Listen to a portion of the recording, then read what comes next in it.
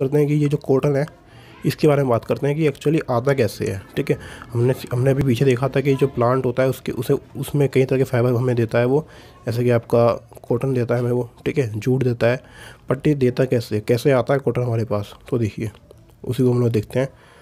तो cotton it is grown in the field cotton plant are usually grown at place having black soil and warm climate cotton के जो plant होते हैं, वो ऐसी जगह पे उगते हैं जहाँ की जो मिट्टी होती है, वो काली होती है और वहाँ का जो इन्वायरमेंट होता है थोड़ा सा गर्म होता है, ठीक है? वार्म क्लाइमेट होता है काफ़ी। काफ़ी नहीं मतलब ठीक ठाक गर्म होता है। The fruit of the cotton plant cotton balls are about the size of lemon इसके प्लांट के ऊपर एक तरह के फ्रूट आता है। फ्रूट बने की फल टाइप का मान लीजिए आप, जिसे हम लोग बोलते हैं कॉटन बॉल्स ठीक है? और वो कॉटन बॉल का जो साइज़ होता है, वो लेमन जो होता है, उसके बराबर, उसके यानी नींबू के बराबर के साइज़ का होता है। After maturing the ball burst open and seeds covered with with cotton fibre and can be seen अब क्या होगा देखिए, मैंने आपको बताया ना, इसका जो कॉटन का जो प्लांट है, वो एक तरह का फ्रूट डेवलप करता है, जिसको हम बोलते हैं कॉटन बॉल और जो नींबू के आकार का होता है।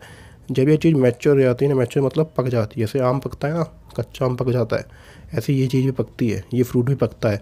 पकने के बाद क्या होगा, ये फ्रूट जो है वो अपने आप को इस तरह से ब्रश कर लेगा, जैसे इस तरह से फूट जाएगा, ठीक है? और फूटने के बाद क्या होगा, इसके जो बाहर की जो ये लेयर देख रहे हो अभी ये ये लेयर तो पीछे हट जाएँगी।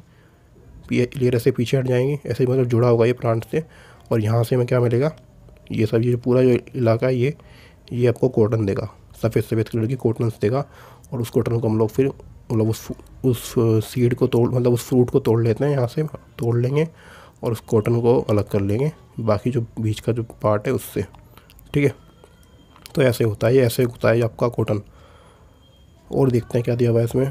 बस अभी तो ये दिया हुआ है। इस वाले पॉइंट को देखते हैं। Cotton use for for filling mattress quilt और पिलो जो मैट्रेस वगैरह होती हैं आपकी, जो आप घर में इस्तेमाल करते हो, ठीक है? क्लिट्स हो गई पिलो हो गई रिजाई हो गई, जो आपके तकिए होते हैं, इन सब में कॉटन भरा होता है। ठीक है?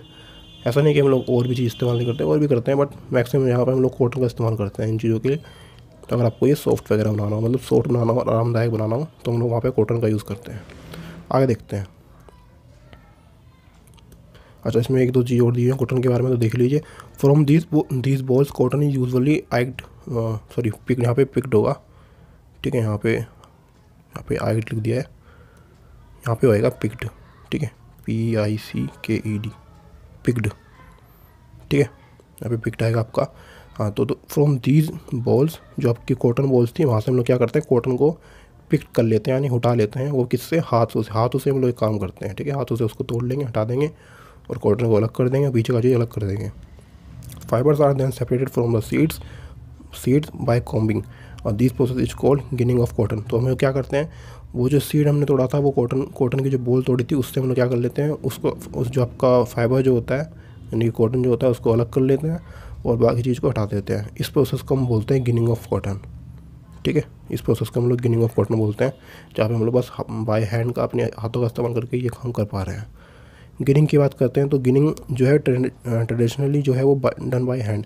पुराने ज़माने में ये हाथों से किया, किया जाता था लेकिन आज के समय हम लोग मशीनें जो होती हैं आपकी उन मशीनों से भी हम लोग इस काम को कर सकते हैं। जो मशीनें क्या करती हैं उस बीच वाले पार्ट को अलग कर देंगी और जो आपका जो फाइबर है निकोटन है उसको अलग कर देती हैं। तो आजकल हम लोग मशीनों का इस्तेमाल करते हैं ठीक है? आगे बढ़ते हैं। बात करते हैं जूट की। जूट क्या होता है ये भी एक तरह का प्लांट फाइबर है, जो हमें प्लांट से ही मिलता है। तो कैसे मिलता है वो देखते हैं। तो plant jute fibre is obtained from the stem of the jute तो देखिए जूट का जो फाइबर है आपका, वो आपको कैसे मिलता है? जूट का जो प्लांट होता है, उसके जो स्टैम का जो पार्ट होता है, यानी कि आपको पता होगा, ये मान लीजिए आपका प्लांट हो गया। ठीक है? तो प्लांट प्लांट में नीचे वाला पार्ट क्या होता है ये? ये रूट वाला हो गया। रूट हो गया। ये जो ये जो ये जो पार्ट होता है, इसको ये बोलते हैं स्टेम तो यहाँ से हमें क्या मिलता है? जूट मिलता है।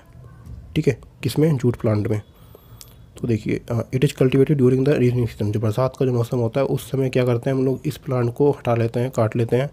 इन इंडिया की बात करें तो jute is mainly grown in West Bengal Bihar and Assam तो जूट जो है हमारा इंडिया में, ज़्यादातर वेस्ट बंगाल में बिहार में असम में उगाया जाता है। The jute plant is normally harvested when it is at flowering stage जब इसके ऊपर फूल वगैरह आ रहे होते हैं फ्लोवरिंग स्टेज पे होता है ये, ठीक है?